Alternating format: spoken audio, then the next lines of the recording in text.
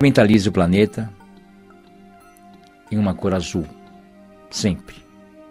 Se puder fechar os seus olhos, se concentrar, pensar no planeta envolvido em uma cor azul, jogue sobre ele uma grande malha, como se fosse uma rede de pescador, na cor azul cintilante. E deixe que essa malha azul, que essa rede azul cintilante, trabalhe no planeta.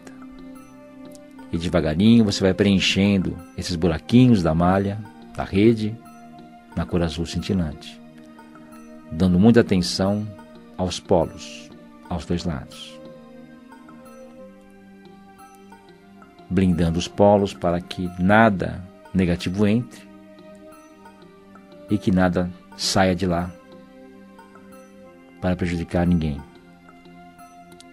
E com isso você começa a favorecer os governantes, a população, os hospitais, as prisões, a natureza, os animais, a água, o solo que nos alimenta, enfim, tudo começa a ser purificado com um simples trabalho desse.